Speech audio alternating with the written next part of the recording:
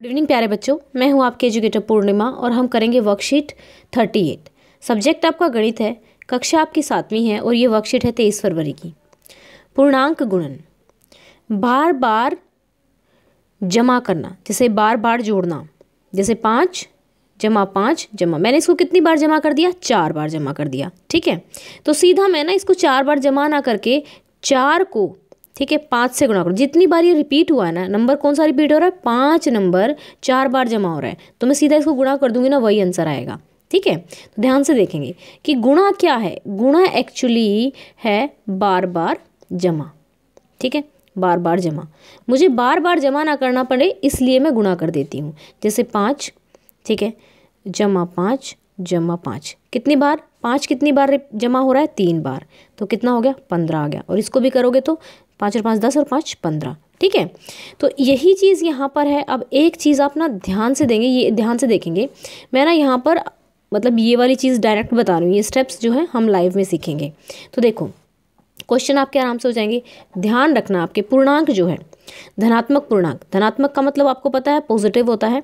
ठीक है? पॉजिटिव और ऋणात्मक ऋणात्मक जो पूर्णांक है, वो हो गया नेगेटिव। तो जब नंबर जो है, मैं यहाँ पे दो चीज़ें लिख रही हूँ। एक साइन लिख रही हूँ ठीक है, एक ऑपरेशन लिख रही हूँ। मतलब चिन्ह लगा लेते हैं, साइन की जगह आप चिन्ह भी लिख सकते हैं, क्योंकि हिंदी मीडियम है। ऑपरेशन में देखो बच्चा क्या होता है, कोई चीज़ या तो जमा होती है, ठीक है ऑपरेशन ऑपरेशन में किसको लिख रही हूँ? जमा कर सकते हैं आप उसको, घटा कर सकते हैं आप उसको, ठीक है, गुणा कर सकते हैं आप उसको, भाग कर सकते हैं आप उसको। ये चीज़ अलग हुई चिन्ह तो दो ही हैं हमारे पास। चिन्ह किसका है? जमा का। या फिर घटा का। नंबर के आगे चिन्ह क्या हो गया तो जमा होगा या घटा होगा। अब किसी नंबर के आगे, ठीक है, गुणा करना सीख रहे हैं ना हम। अगर किसी नंबर के आगे, ठीक है, दो दो नंबरों को हमें करना है गुणा, ठीक है, दोनों नंबरों के आगे माइनस माइनस है, ठीक है तो क्या होगा ध्यान रखना है, अगर दोनों नंबरों के आगे माइनस माइनस है तो माइनस से माइनस कट जाता है और ये मल्टीप्लाई होके इतना आ जाएगा, ठीक है, और दो नंबरों के आगे प्लस प्लस है तो भी ठीक है? प्लस ही आएगा प्लस ट्वेंटी फाइव आएगा, ठीक है? लेकिन एक नंबर के आगे अगर माइनस है, और एक नंबर के आगे क्या है? प्लस है, ठीक है? तो क्या होगा? तो साइन माइनस का आएगा, ठीक है? ओके माइनस का ट्वेंटी फाइव आएगा। इसको ध्यान से करेंगे। माइनस माइनस क्या हो जाएगा गुणा में? अगर बीच में गुणा है तो। दोनों नंबरों के बीच में गुणा है तो माइनस माइनस प्लस हो जाएगा सिंबल और उन दोनों को गुणा करके आप यहाँ पे लिख देंगे, ठीक है? और अगर दोनों नंबर प्लस में हैं तो क्या होगा? तो भी साइन क्या आ जाएगा? दोनों नंबर प्लस में है तो भी प्लस आ जाएगा और अंदर गुणा हो जाएगी। और अगर एक नंबर प्लस का है और एक नंबर माइनस का है तो साइन किसका आएगा? माइनस का आएगा और अंदर गुणा हो जाएगी। ये रूल आप लिख लो, ठीक है? इसको लिख लेंगे और ये ही आपके काम आने वाला है इसमें, ठीक है? तो जब मान लो कोई एक एंटीजर है, आपने लिया माइनस थ्री इंटू फाइव तो मैंने क्या बताया? अब जिसके आगे कोई साइन नहीं होता, उसका मतलब उसका साइन, उसका सिंबल क्या है? प्लस का है। तो ये कितना आ जाएगा? माइनस का फिफ्टीन आ जाएगा। समझ में आया? क्यों? क्योंकि मैंने कहा इन दोनों के आगे अलग अलग में माइनस ही आएगा। दोनों सेम है। माइनस का थ्री है और माइनस का थ्री है। ये एक तरह से इससे कट गया, एक तरह से कट गया। नो आ गया। ठीक है? तो इस तरीके से कर लेंगे। चलो, करते हैं। तो यहाँ पे देखो इन्होंने कहा है कि यदि एक धनात्मक और एक एक ऋणात्मक पूर्णांक होगा तो ए गुणा बी तो माइनस का ए बी आ जाएगा। और दोनों सेम है तो हमारा ए बी आ जाएगा। और दोनों के आगे माइनस माइनस दोनों घना घनात्मक हैं, सॉरी, दोनों ऋणात्मक हैं तो क्या आ जाएगा? प्लस का ए बी आ जाएगा। ये समझ लो। अब ये है गुणन के अंतर्गत संवर्त। किसी पूर्णांक ए और बी, ठीक है, ए और बी के लिए ए और बी एक पूर्णांक होता है। मतलब जो इनका जो गुणा आएगा ना, जो इनकी गुणा करके आएगा, जैसे दो गुणा चार, ठीक है आठ आ गया। तो ये हम ना हमेशा पूर्णांक ही आएगा, जो इनकी गुणा होगी।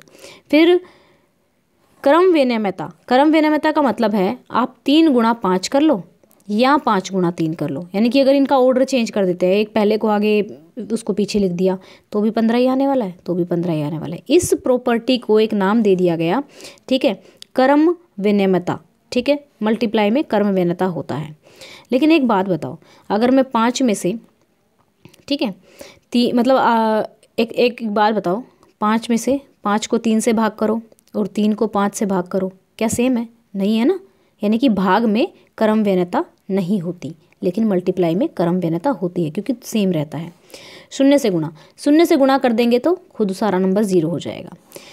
गुणात्मक तत्समक। अगर एक से गुणा कर देंगे तो वो नंबर खुद आ जाएगा।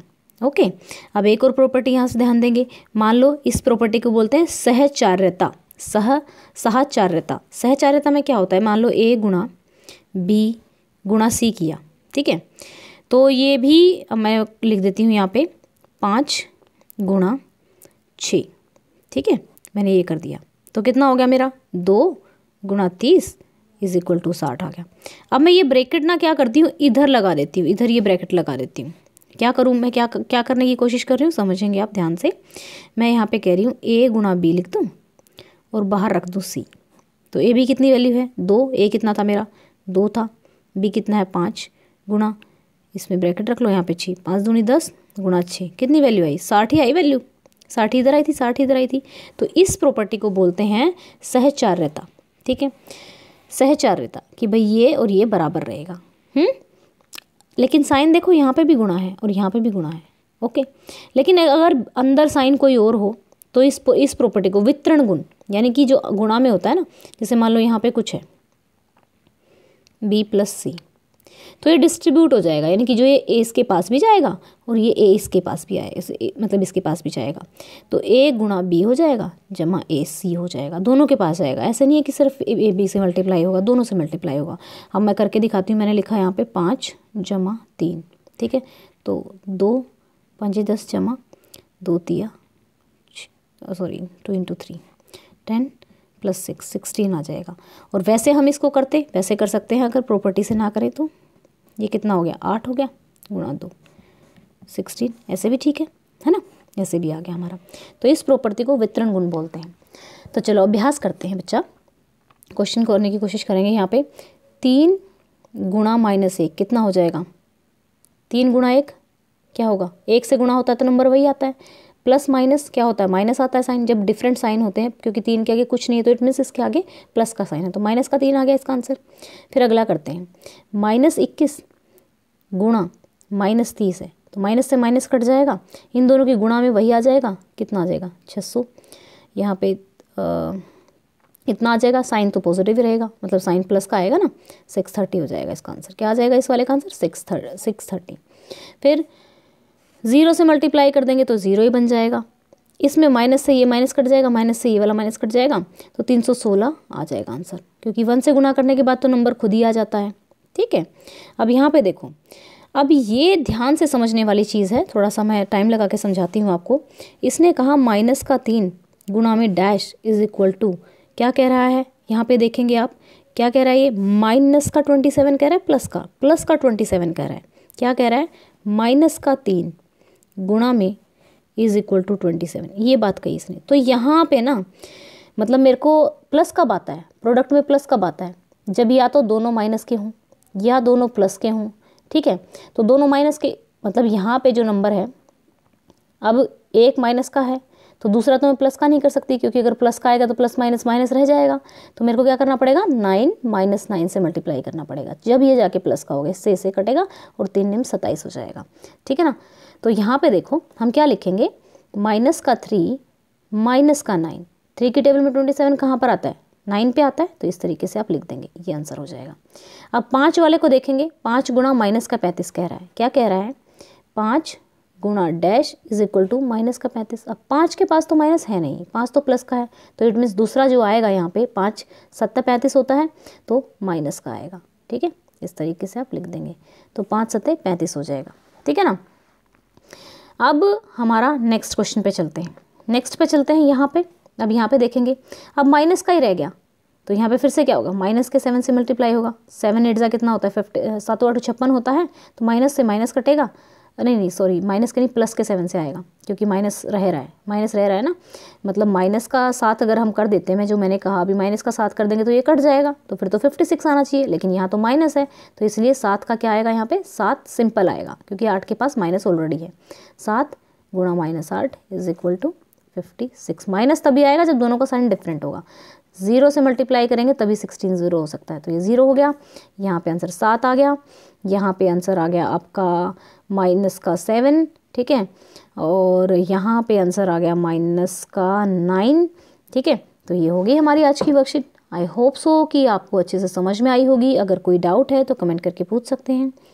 Thank you have a nice day may God bless you अगर आपने अभी तक चैनल को सब्सक्राइब नहीं किया है तो चैनल को सब्सक्राइब कर लीजिएगा।